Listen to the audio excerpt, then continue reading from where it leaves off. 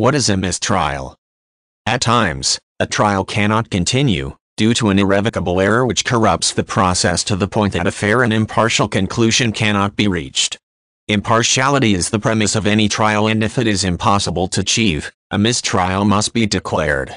Generally, such an error prejudices one party so badly that the jury cannot reach a verdict, or the judge cannot ensure that the verdict would be a fair one.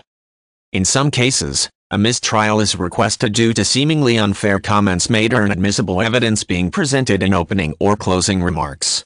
If jury instructions cannot repair the damage, the judge may have to call a mistrial. It is difficult to expect a jury to simply ignore such statements, and to then proceed in an objective manner as if they had not been made.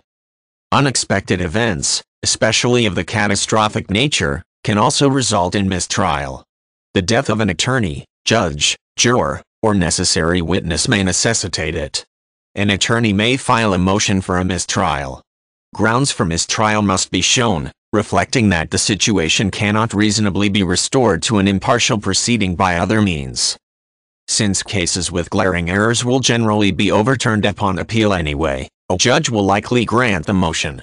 In some cases, the judge will call a mistrial without a motion being filed, if the circumstances overwhelmingly indicate that either a unanimous or an objective verdict is impossible.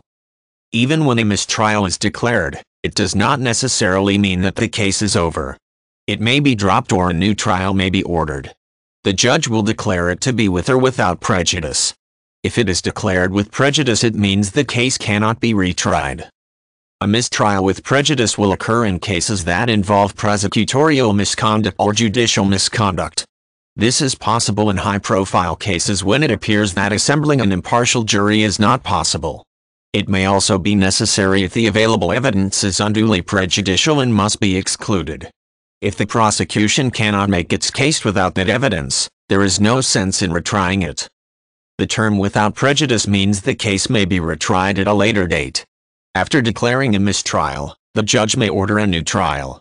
The decision to go forward or to drop the case completely is sometimes left up to the prosecution, based on its ability to effectively and fairly retry the case. If a new trial is ordered, it will start from the beginning and require the assembling of a new jury.